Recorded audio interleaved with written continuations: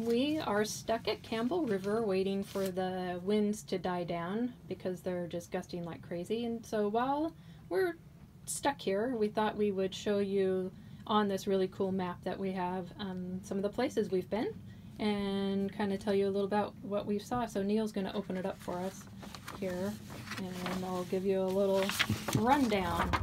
Okay, it is a really cool map. Alright, somewhere here. There we go. Okay.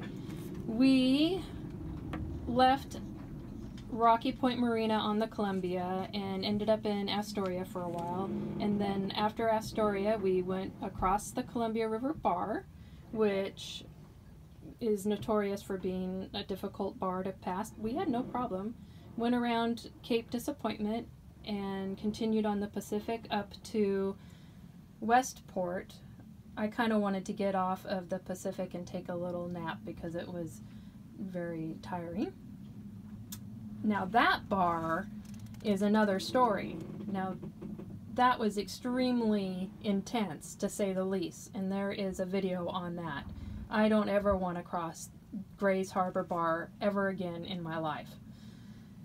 After that we went for 21 hours up to the Strait of Juan de Fuca, past Cape Flattery, into Neah Bay. We got there at 4 in the morning. We were very tired. We anchored and slept like babies and woke up to loons singing to us. It was lovely. We had some um, indigenous people come by in their boats looking at our boat, and we just wonder if it has to do with the fact that our boat is named Shawnee. Anywho, moving from there, we went to Port Angeles to get some fuel, get food and laundry, and it was nice. The the manager there, the dock guy, whatever he is, what is he, a harbor master? He was really awesome, super neat guy. Then we went to Seacom Bay, which Neil and I kept, no, see, we said it again. We keep calling it Seacom because we're nurses and it's really Sequim. We went to Sequim Bay.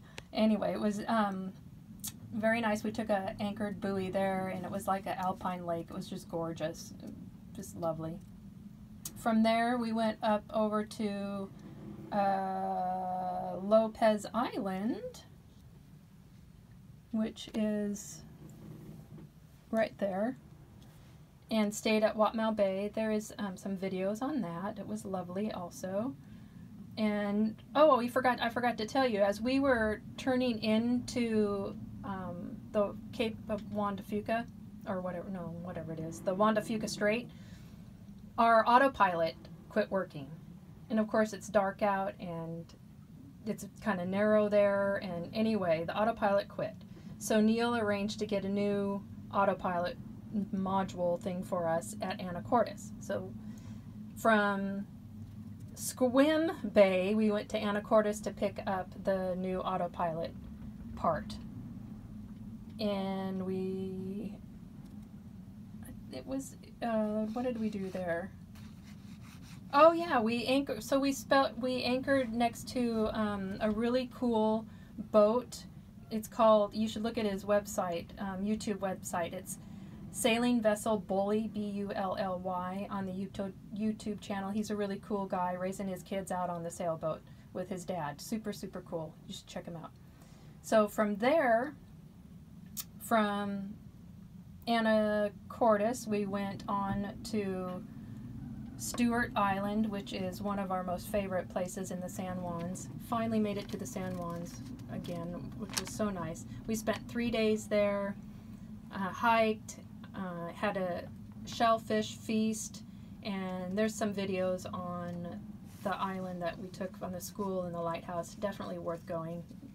We love it there. We would have stayed, but it was time to move on. And we went to Canada. We needed to check in in Canada. I had to see where I was. We went to uh, South Pender in Bedwell Harbor South Pender Island, I guess, in Bedwell Harbor. It was so easy to check in, and it's so pretty. Anyway, it was just easy peasy. We were all worried about it, and it was no problem at all. Then we went to, uh, where did we go? We went to Comox, which, is that right? No, we went to Nanaimo, and we always say it wrong, and I think I just said it wrong again. It, it's called Nanaimo. Nanaimo. Oh, never can get it right. Anyway, we got fuel and propane. There's a story about the propane, that's for another time.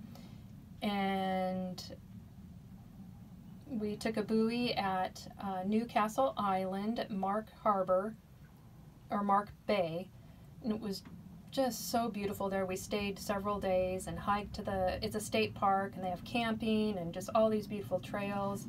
And we hiked there and just loved it. Stayed there, watched the uh, seaplanes come and go from Nanaimo, and it, it was just great. From there, we went to Comox, which is here. Beautiful town. Really liked it. We used their library. It's super clean. Oh, I wanted to mention back in Nanaimo, there was a huge homeless population. Like, we were shocked by the amount. Just just saying. It was it was really something. Okay, back to Comox. It was beautiful, clean. The library was wonderful. It was very peaceful. Everybody seemed really happy. Loved it. Then on to where we are now, Campbell River. And we're waiting to go through Seymour Straits. Narrows. Narrows, Seymour Narrows, and on to the end of Vancouver Island and up into Alaska. We're almost there. Anyway, that's where we are. Thanks for listening.